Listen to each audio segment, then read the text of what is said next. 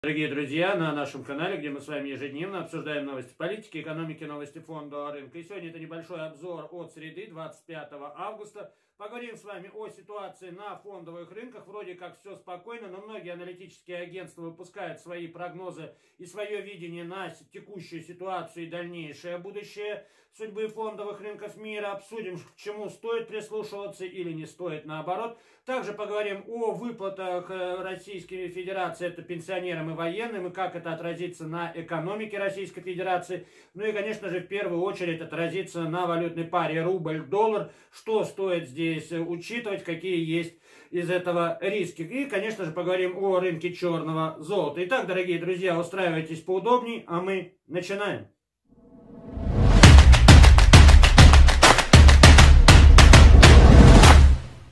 Дорогие друзья, по традиции все наши видеообзоры мы с вами начинаем с ситуации на фондовых рынках. И сегодня так называемый день тишины, об этом мы с вами говорили еще в воскресенье, когда была рубрика «Ежедневник инвестора». Я делал такое осторожное предположение, что среда будет, наверное, самым спокойным днем, когда игроки возьмут такую некую паузу и никаких особо сильных движений на рынках происходить не будет. И именно это мы с вами на текущий момент и наблюдаем, что индексы не стремятся ни падать, ни расти, потому что игроки замерли в ожидании начала симпозиума, так называемом Джексон Холле. Ну, оно чисто имеет только такое название, потому что будет проходить в онлайн формате. И, конечно же, будут ждать выступлений многих экономистов, но ну, а основное событие произойдет уже в пятницу, когда будет выступать глава американского регулятора Джером Пауэлл, и вот здесь он нам, наверное, поведает какие-то вещи. Но я остаюсь приверженцем своей точки зрения, что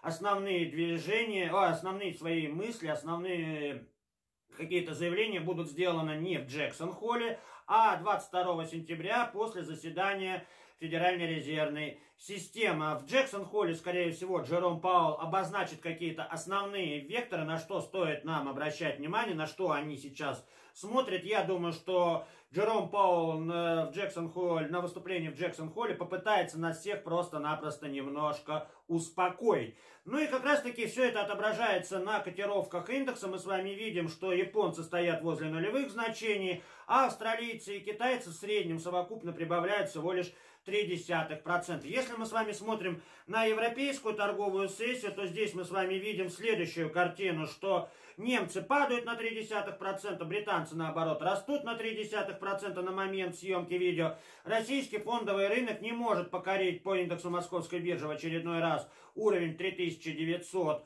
пунктов, и индекс Московской биржи падает на 0,3%, индекс РТС падает почти на полпроцента. Мы с вами видим, что на, на протяжении сегодняшнего дня э, доллар попытался послабеть по отношению к рублю, но здесь есть логическое объяснение, почему доллар слабел. Вы не забывайте, что сегодня среда, по средам э, Минфин проводит аукцион УФЗ, и, конечно же, в этот момент рубль получает такую локальную внутридневную поддержку. Ну вот аукционы завершились, и мы сразу же с вами видим, что доллар резко начал набирать позиции. Мы вновь штурмуем отметку 74 рубля. На момент съемки видео доллар прибавляет 0,3% по отношению к нашей российской национальной валюте. Но этого на самом деле следовало ожидать. Рубль в последнее время очень и очень слабый, несмотря на движение на товарно-сырьевом рынке. В частности, я говорю про цены на нефть, хотя нефть э, последние несколько торговых сессий очень и очень сильная, она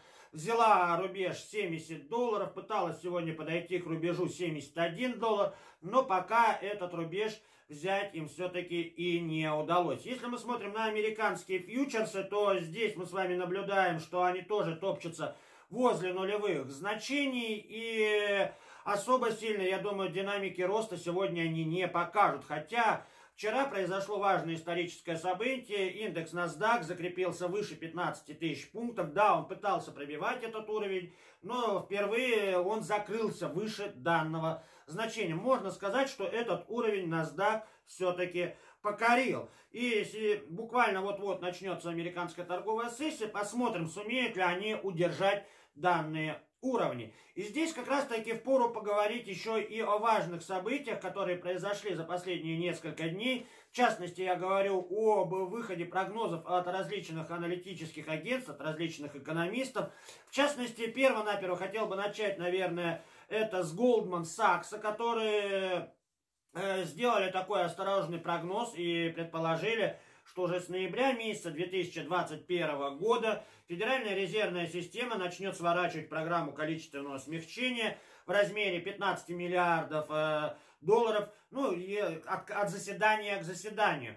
И здесь это как раз-таки укладывается в логику, ту, которую я последние несколько недель рассказывал вам в наших видеообзорах. О том, что как раз-таки в Джексон-Холле Джером Паул никаких громких заявлений делать не будут, а все основные заявления и по программе количественного смягчения будут делаться именно на опорном заседании, которое состоится 21-22 сентября. Потому что недаром, да, многие представители Федрезерва взяли такую некую паузу. Им необходимо сейчас посмотреть, что будет происходить со штаммом Дельта э, на территории Соединенных Штатов Америки. Мы на этой неделе да, получили новости о том, что вакцина от компании Pfizer была одобрена, полностью сертифицирована.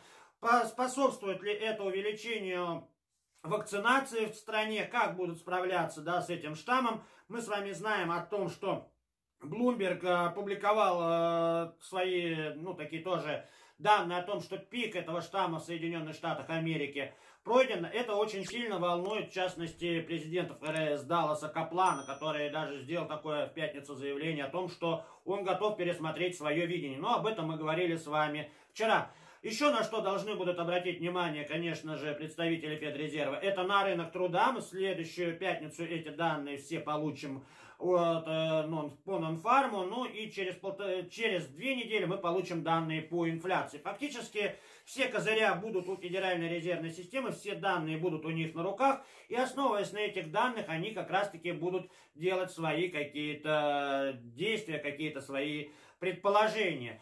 И я все-таки склоняюсь к тому, что потихонечку Федеральная резервная система США начнет сворачивать программу количественного смягчения. К тому же особого смысла да, в текущей программе нету. Мы с вами знаем, что обратное репо растет неимоверными темпами, и фактически, да, печатный станок уже начал отключаться. И как мы с вами уже тоже говорили на прошлой неделе, э, сейчас э, на подходе новый инфраструктурный проект, который очень и очень большой, более 3,5 триллионов долларов.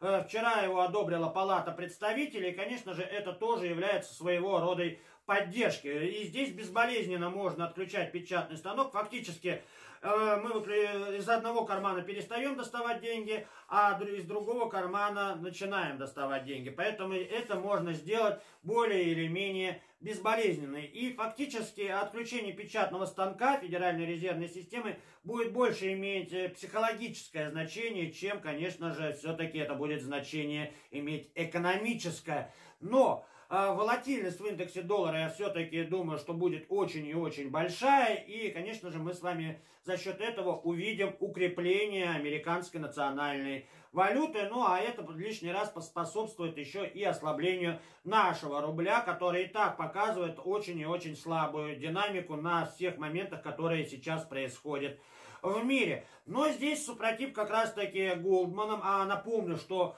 Goldman Sachs за последние полтора года дает более или менее точные прогнозы. Именно они спрогнозировали движение индекса в район 4,5 тысячи пунктов. Именно они спрогнозировали движение цен на нефть выше отметок 75 долларов за баррель нефти марки Brent. Поэтому доверяйте к э, прогнозам, да, а Goldman Sachs все-таки имеет смысл.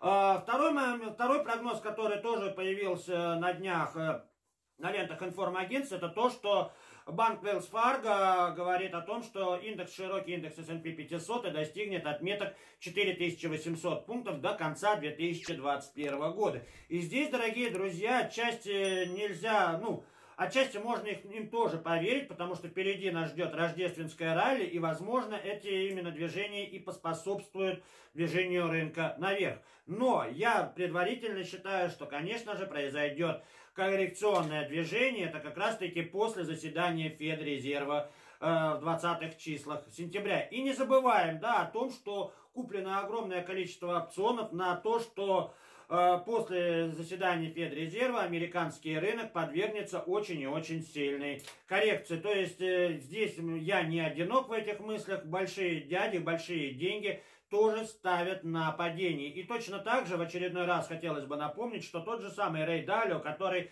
четко предсказал падение индекса S&P 500 в конце февраля, начале марта месяца 2020 года, тоже сокращает свои позиции в ETF на S&P 500 и тоже ожидает очень ближайшего падения. Но когда все факторы сходятся за то, что ближайшая коррекция не за горами, все-таки стоит к этому прислушаться. Ну и к тому же есть еще один прогноз от э, агентства Reuters, которое говорит о том, что в третьем квартале глобальные корпорации будут терять в прибыли. И именно этим можно объяснить не самое лучшее поведение э, компаний на сезоне отчетности. Мы с вами видели, что по итогам э, второго квартала многие компании показали очень хорошие прибыли, но почему-то, да, после выхода отчетов многие компании стремительно шли вниз. А потому что как раз-таки они тоже опасались, что может быть произойти падение прибыли в третьем квартале 2000 2021 года. Почему это может произойти? Как раз таки многие ожидают, что Федеральная резервная система начнет сворачивать свой печатный станок, да, отключать, что приведет к росту индекса доллара. А за счет этого потеряют многие компании, экспортеры как раз таки. Ну и, конечно же, низкие ставки, Соединенных, которые находятся сейчас в Соединенных Штатах Америки, Э, ну, не дадут развиваться, не дадут расти прибыли тому же самому банковскому сектору. И банковский сектор на текущий момент тоже может находиться под таким довольно-таки серьезным давлением. Ну и к тому же та же самая крупнейшая компания Соединенных Штатов Америки Apple говорит о том, что ну, прогнозирует падение спроса на свою продукцию в течение третьего квартала 2021 года. Об этом говорят многие компании, не только американские, там и японские, да, в частности, можно привести ту же самую Toyota, которая сокращает свое производство и так далее. Этот список очень и очень большой, достаточно просто почитать э, отчеты компаний, которые уже отчитались.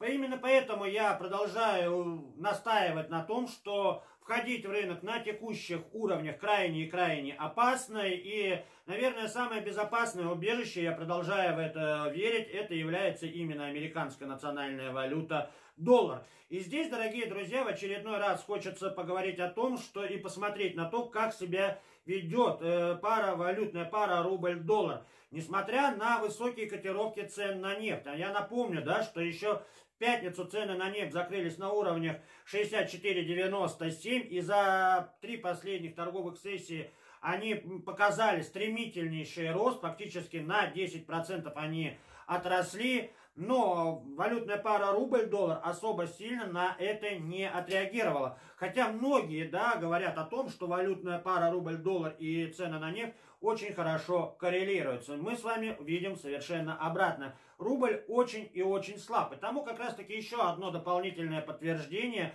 что Минторг США продлил, да, вот сроки своего расследования по нерыночности экономики Российской Федерации. Мы на прошлой неделе эту ситуацию с вами обсуждали, что это такого своего рода новый способ давления на нашу страну. И обратите внимание, как вовремя это все происходит. А происходит это как раз-таки, когда в России стартовала активная часть предвыборной кампании в Государственную.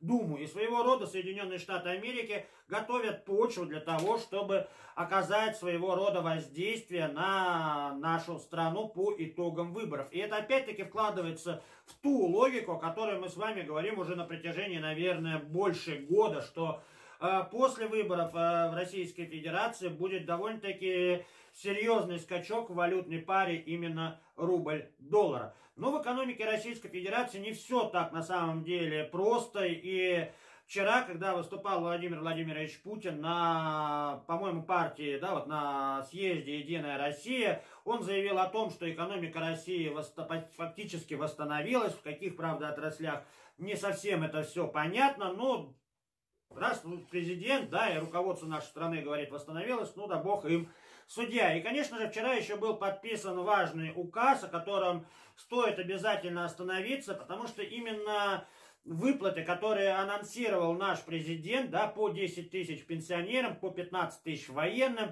могут оказать довольно-таки серьезное воздействие на инфляцию, ну а рост инфляции, конечно же, окажет существенное давление и на нашу национальную валюту рубль. И здесь как раз таки хотелось бы просто-напросто немножко посчитать. Можете взять листочек и ручку, чтобы вместе да, просчитывать. Я специально все эти цифры себе выписывал на листок, чтобы ни в чем не запутаться. И, дорогие друзья, давайте с вами посчитаем. В сентябре месяце, аккурат перед выборами, а выборы, напомню, 19 сентября, ну а в среднем пенсии в Российской Федерации начинают выплачиваться, по-моему, с числа 7 или 8. И, дорогие друзья, что здесь хочется сказать? А хочется сказать следующее, дорогие друзья, что перво-наперво у нас сколько в стране пенсионеров? По последним данным Росстата у нас в России 42 миллиона, 3, 42 миллиона 300 тысяч пенсионеров. И всем этим пенсионерам нужно выплатить по 10 тысяч рублей. В среднем получается, да, это 420-430 миллиардов рублей. Записали эту цифру. Второе, это, конечно же, выплата нашим э, военнослужащим, да, каждому военнослужащему по 15 тысяч рублей. По тем же самым последним данным, у нас в среднем, по, примерно в России 1,9 миллионов военнослужащих. То есть это получается 28,5 миллиардов рублей мы им должны тоже заплатить. Но одновременно с этим мы не должны с вами забывать и еще про одни выплаты, о которых Владимир Путин говорил еще в конце весны, начале лета этого года. Это 10 тысяч э, каждому школьнику. Итого получается 200 миллиардов рублей. В сумме мы с вами получаем 650-652 миллиарда рублей. Э, в среднем мы должны, наша экономика должна выплатить. На первый взгляд, э, не такие уж вроде бы и большие суммы, но если мы с вами сейчас посчитаем, то это примерно составляет чуть больше полпроцента от ВВП всего всей нашей страны. И если даже взять еще один момент, аспект, то это целая капитализация такого крупнейшего банка государственного, как ВТБ. И, ну, либо какую еще компанию, ну, ну можно посмотреть там э, примерно, да, там капитализация того же самого ВТБ составляет 9 э, э, миллиардов, да, рублей. Ну и, соответственно, это долларов, да, имею не рублей, долларов. И, соответственно, это очень и очень существенные деньги. 652 миллиарда, это 8 и 8 миллиардов долларов. И таким образом, конечно же, будет очень и очень интересно посмотреть, как эти деньги, откуда эти деньги будут изыматься. И хотелось бы просто-напросто вспомнить ситуацию, когда на последних заседаниях Эльвира Сахибзадовна, глава нашего Центрального банка России, заявляла следующее – что росту инфляции в нашей с вами стране способствовали как раз-таки накопления наших граждан, которые происходили во время э, ну, карантинных мер, да, то есть что граждане накопили денежные средства, потом они пошли по магазинам и взвинтили цены на те же самые продукты, технику и так далее. Ну, давайте с вами тогда тоже разберемся в этой ситуации, когда пенсионер получит 10 тысяч рублей, куда он пойдет с этими 10 тысячами рублями? Конечно же, он тоже пойдет в магазин. И таким образом будет поддерживать, ну, под, ну, поддерживать спрос и наращивать цены на те же самые продукты. Конечно же, от этих ситуаций выиграют и ритейлеры, но э, тот же самый спрос будет способствовать росту инфляции. А рост инфляции, соответственно, подстегнет наш центральный банк к поднятию ставок. Здесь какой-то замкнутый круг. С одной стороны, мы вроде бы должны бороться с инфляцией, а с другой стороны, то же самое руководство нашей страны способствует тому, что инфляция будет развиваться. И здесь будет очень и очень драматическая ситуация в сентябре месяце, когда может начаться резкий всплеск инфляции и что будет способствовать ослаблению нашей национальной валюты, это раз – ну и второй момент, конечно, ну и, конечно же, не забываем, что в сентябре месяце может быть внешнее воздействие со стороны западных держав из-за выборов на территории Российской Федерации. Мы об этом уже не раз с вами говорили в наших последних видео. И вот сегодня как раз-таки появились сообщения от Минторга США, что они продлевают свое расследование по нерыночности экономики. Мы на это, об этом говорили на прошлой неделе с вами, что это своего рода новое воздействие на экономику Российской Федерации. Посмотрим, да, к чему это все приведет, но я продолжаю утверждать, что сейчас самым безопасным активом, да, в котором можно переждать вот смутные времена, смутный сентябрь месяц, потому что здесь сразу же сходится много факторов. Это и экспирация, это и конец финансового года, и заседание Федрезерва, и выборы в России, и выборы в Германии. Все это, конечно же, будет накладывать своего рода Э, отпечатки на котировки индексов. И к тому же не забываем, да, что сегодня Европейский суд отклонил требования «Газпрома» о том, чтобы использовать «Северный поток-2» на полную мощность. И я думаю, здесь новая, новый виток борьбы будет продолжаться. Именно поэтому я считаю, что в сентябре месяц самое безопасное это находиться именно в долларах. Но опять-таки это лично мое мнение. Э, я знаю, что у многих моих зрителей мнение совершенно иное. Многие считают, что рынки будут расти безостановочно. Но такого, дорогие друзья, к сожалению, не бывает. И за это можно очень и очень сильно поплатиться. Дорогие друзья, если видео понравилось, обязательно ставьте лайк. Если видео не понравилось, ставьте дизлайк, пишите свои комментарии. Также, дорогие друзья, не забываем, что идет набор, последний набор 2021 года в наш премиум закрытый чат. Кто хотел попасть, но думал, сомневался, ну вот я думаю, у вас последняя возможность в этом году есть. Следующий набор, во-первых, будет намного дороже в 2022 это как первая причина. Ну и когда он будет следующий набор, я даже представить пока себе не могу. В планах делать донаборы пока что нет. И действует эксклюзивное предложение. Я за долгосрочное сотрудничество.